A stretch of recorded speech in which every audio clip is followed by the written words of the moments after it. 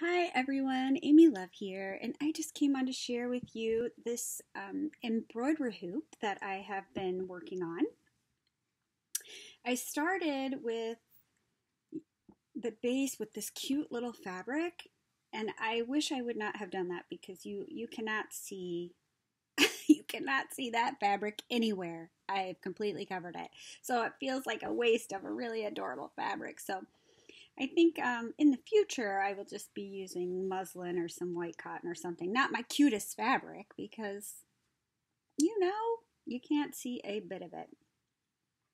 So I put the fabric in the hoop and then I added, first I added the edging trims. So I used this cute little, I love this lace and I'm hoping Kim will be carrying it because it's just, I love it so much.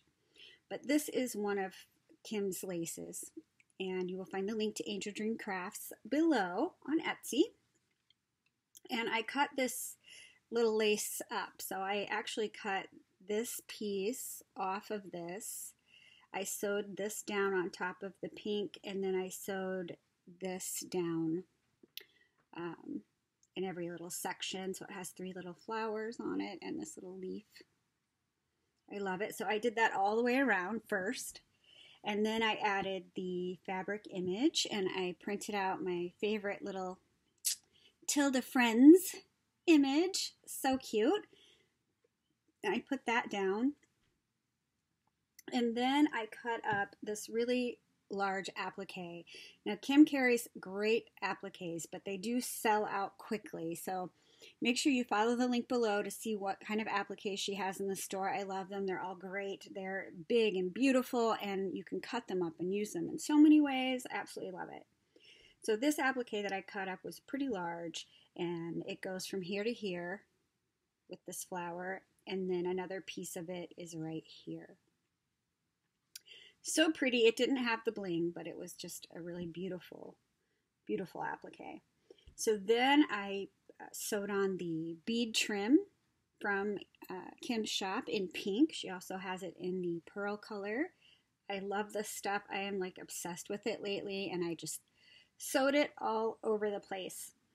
And I pleated up some lace and put one of those definition words uh, for my porch prints that I printed out onto fabric that I use all the time. I absolutely love them. And then I just sewed on all the other fun stuff. So I cut up this trim from Kim's shop that, I mean, it's just so fantastic to cut up. So I have a bunch of it cut up because I just sew it on everything. So that's there. And then, of course, a bunch of different pearls, some buttons. Some of them are vintage buttons. I love buttons so much. Um, I put this little crystal heart right here, adorable, one of my yo-yo flowers, some pink rosettes, a little heart charm, of course, and uh, one of Kim's rolled roses, absolutely adorable, and some more Swarovski beads here and there. Then I added these two blings from my stash. Those I actually glued on. So everything's sewn except the, the three bling pieces. Here I used a double seam binding bow and uh, Kim is carrying hand signed, hand dyed seam binding in her shop, which I love.